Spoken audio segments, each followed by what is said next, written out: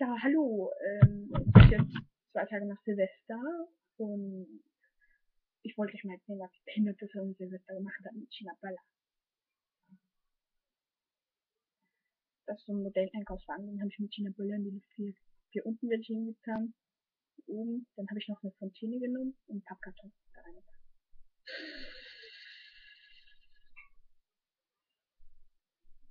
Ja. Dieser Einkaufswagen ist auch schon mal aus dem Fenster geflogen. Ja.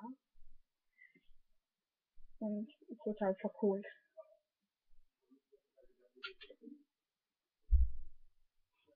Ja, vielen Dank fürs Zuschauen und bitte